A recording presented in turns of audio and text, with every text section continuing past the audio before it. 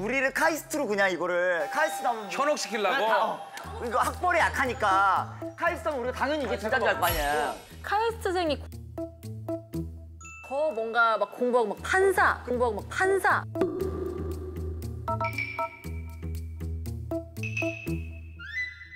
카이스트가 판사를 한다고? 카이스트가 판사를 죄송한데 카이스트는 공대라. 야 미주야. 나도 카이스트 과학인지 안다 야. 아, 저기 피자 브랜드와는 뭔- 뭔가 매칭이 잘 안 된다. 아, 알겠습니다. 일단 아, 미주 씨 이거 편집해요 말아요. 상관없어. 내 머리 짧은 거 다한테 혼나는데. 어, 다시 했나?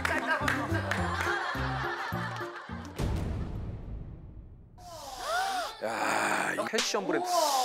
군대에서 모은 월급으로 시작한 현재 슈퍼카만 다섯 대, 100억 원대 패션 브랜드. 야, 24-7 meal now. Yeah, yeah, 하지 for a better life. Yeah, I'm in the stool, I just spent the night.